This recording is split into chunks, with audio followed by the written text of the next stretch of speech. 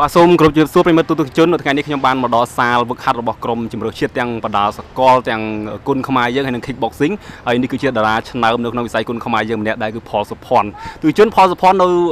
ចុងឆ្នាំ2019នេះគេនឹងចេញទៅកាន់ SEA Games 2019នៅឯហ្វីលីពីនហើយការចេញទៅប្រកួតនៅឯ SEA Games ឆ្នាំនេះអាចនិយាយថាជាបបិសោតវិញអាចថាជាលើកទី4ហើយក៏ប៉ុន្តែ 2019នេះប្លែកតិចដោយសារតែ3រដូវកាលកន្លងមកផលសផនប្រកួតនៅក្នុងការប្រកួតបដាល់សកលប៉ុន្តែ2019នេះផលសផននឹងធ្វើការប្រកួតជាលើកដំបូងដែរនៅក្នុងវិញ្ញាសា kick boxing សផនអាចមានអ្វីដំបូងស្វាគមន៍ទៅកាន់ទស្សនិកជនដែលកំពុងតែតាមដានទេសនាតិចជាដំបូងសូមជម្រាបសួរដល់ទស្សនិកជនដែលតាមដានការប្រកួតបណ្ដាល់ទាំងអស់ខ្ញុំបាទផលពណ៌នេះបានបងបាទទៀតហ្នឹងក៏មកសភាខាងកីឡាជាថ្មីម្ដងទៀតបាទ ផលសុផនអាចជម្រាបទៅទូជនតិចថាតើកន្លងមកនេះយើងបត់ពិសោធន៍នៅក្នុងការប្រកួតមិញនេះខ្ញុំនិយាយមកត្រលមកណាប៉ុន្តែមិនទាន់លំអិតទេព្រោះមិនមែនជាសម័យខ្លួនអាចជម្រាបជូនគាត់តិចថាយើងមានបត់ពិសោធន៍ប្រកួតប្រមាណដងហើយនៅប្រទេសណាខ្លះអីទៅឆ្នាំណាខ្លះនិយាយពីការប្រកួតបត់ពិសោធន៍ដូចទៅច្រើនហើយនៅក្នុងស្រុកតែបើសិនជាប្រកួតបត់ពិសោធន៍នៅក្រៅប្រទេសលើកទី4នឹងទាំងសានហ្នឹងហើយគាត់ថាប្លែកពីសាមុនបន្តិចដោយសារកាយពីមុនប្រកួតលក្ខណៈជាសកលហើយក៏មិនបានជោគជ័យដែរបរាជ័យរហូតបាទហើយសារនេះលក្ខណៈការប្រកួត kick ពាក់កណ្ដាលសេរីឬពាក់កណ្ដាលគុណខ្មែរគាត់ថាពញាសានេះប្លែកពីបដលក្បាច់ម៉ែបុរាណបន្តិចគាត់ថាគេប្រើតែកណ្ដាប់ដៃនឹងតតឯងឲ្យបោះជង្គង់ឯងអត់អាចអត់ឲ្យបែកកែនឹងចាប់ជង្គង់ឯងអឺគាត់ប្រកួតនៅក្នុងវិញ្ញាសាបដាល់សកលនៅ IC Game នេះយើងប្រកួតនៅប្រទេសណាខ្លះដែលរៀបចំព្រោះថា3 4ដៅកាលចុងក្រោយនេះមានដូចជាសិង្ហបុរីម៉ាឡេស៊ី2017សិង្ហបុរី2015មីយ៉ាន់ម៉ា2013ហើយនិងនៅឯឥណ្ឌូនេស៊ី2011យើងប្រកួតឆ្នាំណាខ្លះខ្ញុំប្រកួតឥណ្ឌូនេស៊ី2011 ហើយនឹងមីយ៉ាន់ម៉ាមីយ៉ាន់ម៉ា2013បាទហើយនឹងម៉ាឡេស៊ីម៉ាឡេស៊ីបាទខ្ញុំទៅដែរហ្នឹងហើយប៉ុន្តែលទ្ធផលយើងលទ្ធផលគឺបរាជ័យរហូតមិនសមប្រកបទេភាគច្រើននៅនៃការប្រកួតទាំង3ដងហ្នឹងយើងចាញ់នៅក្នុងវគ្គណាដែរវគ្គដំបូងទេឬគឺចាញ់ដោយបន្ទុកក៏បែបណាដែរនិយាយចាំទៅវគ្គចាញ់ដំបូងគឺចាញ់តែបន្ទុកឯងហើយចុងក្រោយមកចាញ់ដល់បន្ទុកចាញ់សន្លប់ចុងក្រោយចាញ់ម្ចាស់ផ្ទះថៃញ៉ាកណាប្រជុំ នៅនៅម៉ាឡេស៊ីណាម៉ាឡេស៊ីលើកទី3ចាញ់ទាំងពេលនោះពេលនោះចាញ់ដោយសារតែបច្ចេកទេសយើងទេឬក៏ការផ្្លាត់ដោយប្រការណាមួយនិយាយចាំទៅការហ្នឹងយើងថាបច្ចេកទេសគេថាបានហើយគឺការផ្្លាត់អីចឹងទៅបាទបាទពេលនោះខ្ញុំនឹងក្រុមការងារខាង PNN បានទស្សនានៅម៉ាឡេស៊ីលើកទឹកចិត្តដែរឃើញតែផលសផនផ្នែកមួយទៀតគឺតំណប់ជើងល្អល់មែនទៅដូចជីស្គីភ្លេតលេចភ្លេតកើតយើងងាកមកកាន់ការប្រកួតនៅឯហ្វីលីពីនចុងឆ្នាំ2019នេះសម្រាប់ញាសា kickboxing ជាលើកដំបូងវិញតើការត្រៀមខ្លួន មកដល់ថ្ងៃនេះបានត្រៀមខ្លួនយ៉ាងម៉េចខ្លះព្រោះការប្រកួតយើងកាន់តែគៀកមែនទេសល់រយៈពេលម្ដងមួយខែទៀតផងអឺការត្រៀមខ្លួនរបស់ខ្ញុំគឺបានគ្រប់គ្រាន់ហើយព្រោះថាយើងដឹងមុនហើយយើងបានត្រៀមការវឹកហាត់ការហូបចុកអីហ្នឹងលក្ខណៈបច្ចេកទេសការប្រកួត kick ហ្នឹងវាខុសផ្នែកពីគុណខ្មែរដោយសារការប្រកួត kick លើបងនឹងប្រាប់ហើយវាសរៀងនឹងសកលបន្តិចសរៀងនឹងគុណមួយថៃបន្តិចគុណខ្មែរបន្តិចហើយនឹងនិយាយចាំទៅវាប្រើតែក្តាប់ដៃហ្នឹងទាត់ឲ្យបោះគង់ហ្នឹងមិនអាចឲ្យអោបបាន អឺអញ្ចឹងបើយើងនិយាយពីការត្រៀមខ្លួនដែលយើងថាពីមុនយើងជាអ្នកវាយសេរីក្នុងស្រុកអាជីពយើងនេះវាយតាមរិញប៉ុន្តែផលផលបដូរពីការฝึกហាត់បែបសេរីហ្នឹងមកបដោតរៀង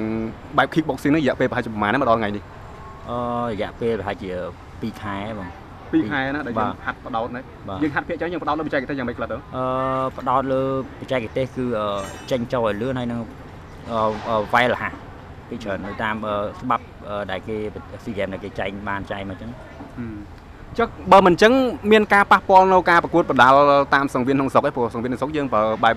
សេរីរបស់យើងយើងអាចឡំជង្គង់ចាប់អោបអីបានឬក៏ការប្រកួតនៅរិញក្នុងស្រុកយើងផ្ដោតរបៀបប្លង់វាយយើងមកយ៉ាង kick ដែរនិយាយចាំទៅអឺខ្ញុំមិនជាបញ្ហាចោតអីសម្រាប់យើងគាត់ថាពេលណាដែលយើងប្រកួតក្នុងស្រុកយើងហាត់របៀបគុណខ្មែររបស់យើងបាទដល់ពេលយើង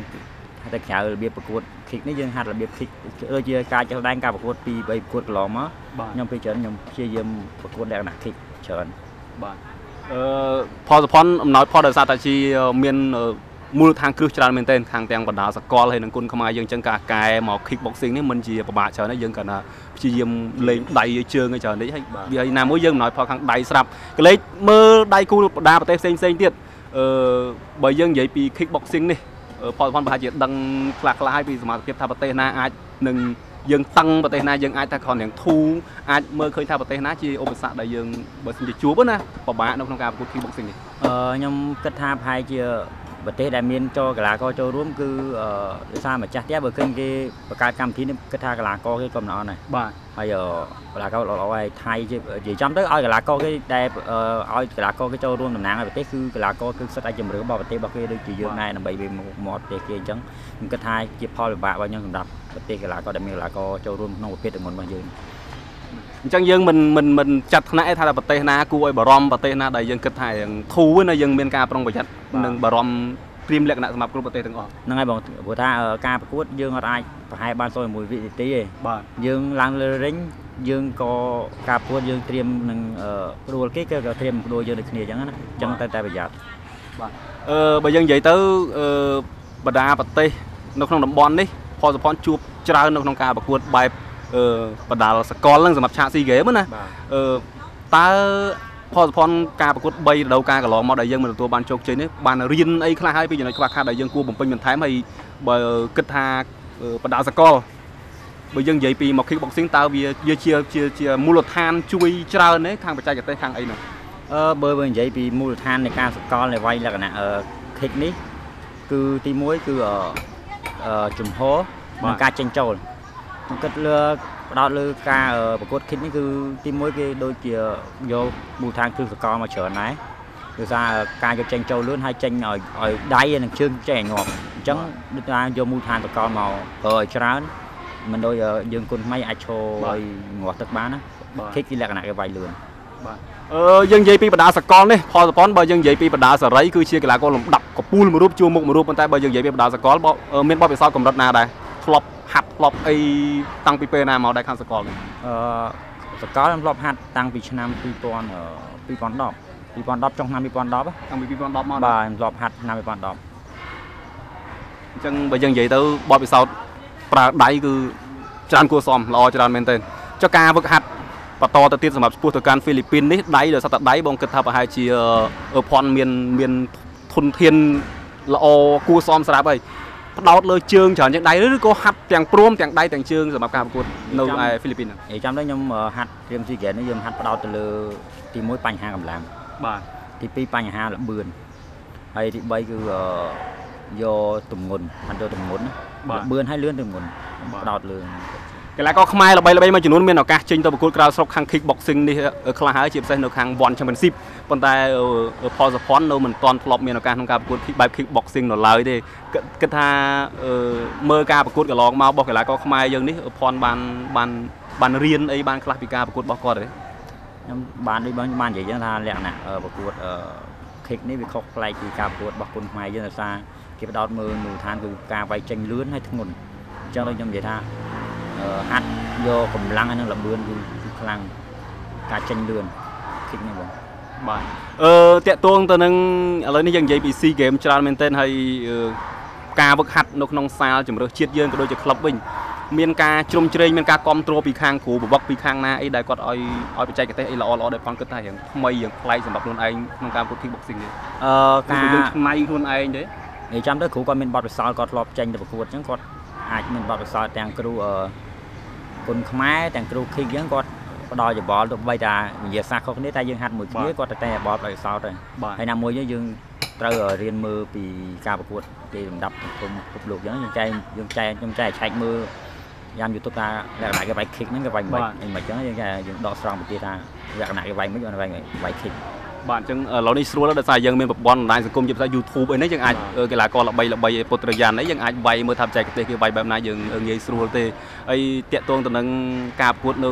ហ្វីលីពីននេះអាចមានអីជាការបដិញ្ញាចុងក្រោយសម្រាប់អ្នកគ្រប់គ្រងក៏ដូចជាប្រជាជនខ្មែរទាំងមូលដែលរងចាំលទ្ធផលរបស់ផលសុភ័ណ្ឌទេនិយាយចំទៅការប្រកួតនៅ SEA Games ហ្វីលីពីននេះខ្ញុំបាទអឺនឹងខំប្រឹងអឺអស់ពីសមត្ថភាពអឺសង្ឃឹមថា50%ចុះចាំមើលការផលិតផលជាក់ស្ដែងសង្ឃឹមថា50%នឹងយកមេដាយជូនអឺ បងប្អូននិងជនជាតិមាតុភូមិរបស់ខ្ញុំវិញប៉ុន្តែមួយទៀតអឺអារម្មណ៍ជាអឺសម្រាប់ការប្រកួតនេះបើធៀបជាមួយនឹងអារម្មណ៍ដែលយើងចេញទៅប្រកួតជាមួយនឹងអឺបដាសកលកន្លងមក អារម្មណ៍ខ្លួនឯងមានជំនឿចិត្តឬក៏មានក្តីសង្ឃឹមមានភាពសប្បាយរីករាយក្នុងការទទួលជ័យជំនះបានច្រើនជាងមុនមុនឬក៏យ៉ាងម៉េចវិញបើធៀបមួយបដាសកលនិយាយចាំអារម្មណ៍របស់ខ្ញុំពេលនេះខ្ញុំនិយាយតាមអារម្មណ៍របស់ខ្ញុំពិតបាទគឺថាខ្ញុំណាមានពិតហ្នឹងហ្មងអារម្មណ៍ខ្ញុំមានទំនុកចិត្តអឺច្រើនជាងការប្រកួតសកលដោយសារអឺយើងវាប្រទេសរបស់យើងគឺវាជំនាញនៅខាងហ្នឹងបាទហើយសកលនេះគឺយើងមិនសូវជាជំនាញប្រហែលទេហើយណាមួយអឺយើងដងពីកំណើតដូនតាយើងមកគឺក្បាច់គុណខ្មែរអញ្ចឹងវាបាទជំនាញហាត់របស់យើងអញ្ចឹងខំមកជឿជាក់ខ្លួនឯងថា 50%ចុះថានឹងបានមេដាយជើងជាតិមេភូមិវិញបើសិនជាការធ្វើបានល្អនៅឯប្រទេសហ្វីលីពីននៅក្នុងការប្រកួត SEA Games នេះផលសុផនគិតថាតើនឹងគេឈ្មោះខ្លួនឯងនឹងកាន់តែមានប្រជាប្រិយភាពទៀតសម្រាប់ក្នុងស្រុកយើងក៏ដូចឆាកអន្តរជាតិដែរខ្ញុំគិតថាអឺមានគេឈ្មោះអឺលើឆាកអន្តរជាតិច្រើនហើយបាទបងប្អូនស្គាល់ច្រើនជាងមុនដោយសារអឺយើងអាចធ្វើបាននេះមិនមែនតែជោគជ័យសម្រាប់តែយើងមួយទេជោគជ័យបាទសម្រាប់ប្រទេសមួយមួយទាំងមូលហ្មងអឺនេះគឺជាការត្រៀមខ្លួនដំបូងសម្រាប់ kickboxing នៅឯហ្វីលីពីនអឺសម្រាប់ឆាក SEA Games របស់ផលសុផនហើយរំលងមួយរដូវកាលនេះទៀតគឺយើងអឺរងចាំរហូតដល់អឺ2021គិតថាខ្លួនឯងនឹងបន្តប្រឹងប្រែងរក្សាគុណភាពរបស់រាងកាយបច្ចេកទេសយើងឲ្យបានដល់នឹងទៀតទេឬក៏ហួសនឹងទៀតទេឬក៏អាចតែសាកមកដូវការនេះសិនហើយដូវការក្រោយបើថាមិនជោគជ័យដូវការក្រោយដូចឡើងចង់លេងចូលណាអត់ទេបងអឺដូចថាកីឡាអឺ វាតែងតែមានការចាញ់ឈ្នះយើងមើលមិនឃើញទេហឹមយើងល្អហ្នឹងក៏មានគេល្អយ៉ាងដែរខ្ញុំគិតថាបើសិនជាសាននេះធ្វើបានជោគជ័យឬក៏មិនបានជោគជ័យយើងបាទព្យាយាមបើសិនជាកម្លាំងនៅមាននៅតែបន្តព្យាយាមក្រែងដូចឆ្នាំ SEA Games ឆ្នាំឆ្នាំពីរឆ្នាំទៅមុខទៀតអាច នឹងមានឱកាសចូលរួមទៀតយើងយើងយកអ្វីដែលយើងមើលទៅថាយើងនៅខ្វះខាតយើងមកបំពេញបន្ថែមទៅគីឡូ SEA Games នៅឯវៀតណាម2021អាចមានឱកាសទៅទៀតបានទេមានឱកាសច្រើនបាទអឺរងចូល3ដងហើយ SEA Games មែនទេមិនងាយតែមានឱកាសចូលទេដល់យើងជំរើសជាតិប៉ុន្តែមិនទាន់ទទួលបានលទ្ធផលនៅឡើយទេចិត្តផលសុផនខ្លួនឯងតើមានប្រភពប៉ុន្មានដែរនៅក្នុងការចង់បានមេដាយមួយជាអនុស្សាវរីយ៍ជីវិតណាអឺទំហំនៃអឺទឹកចិត្តនៃអឺនេះគឺថាមកឆាកជីវិតធ្វើម៉េចចូលលេខកីឡា ចង់បានយ៉ាងគេគឺមេដាយលក្ខណៈតំបន់អាស៊ីហ្នឹងហើយព្រោះថាយើងឲ្យដើម្បីឲ្យខ្លួនឯងប្រភេទដើម្បីឲ្យកេរ្តិ៍ឈ្មោះរបស់យើងក៏ដូចជាបាទឲ្យជាតិមានភូមិឆ្គាល់ដែរនៃចំនួននេះមានកីឡាករមួយបានមេដាយអញ្ចឹងណាអញ្ចឹងមហិច្ឆតាក្នុងចិត្តគឺចង់បានខ្លាំងមែនទែនណាបងហ្នឹងហើយបងក៏សង្ឃឹមអញ្ចឹងហើយក៏ជូនពរឲ្យផនទទួលបានសមិទ្ធផលដ៏ធំមួយក្នុងជីវិតដូចគ្នាណាបាទបាទអឺទីជនសូមថ្លែងដល់គុណលោកអ្នកដែលបានតាមដានកិច្ចសម្ភាសន៍របស់ខ្ញុំបាទនឹងផលសុផនតាំងពីដើមដល់ចប់ខណៈពេលនេះយើងខ្ញុំពីរនាក់ហើយនឹងក្រុមការងារបច្ចេកទេសសូមជម្រាបលាតែប៉ុណ្្នឹងសិន